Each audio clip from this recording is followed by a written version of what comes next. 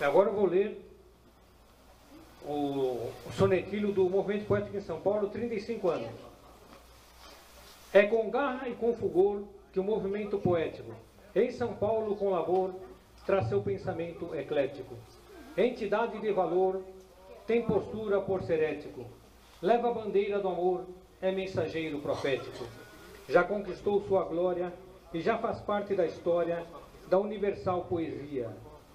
Na trajetória se resume ser o grande astro que lume, no grande amor que irradia.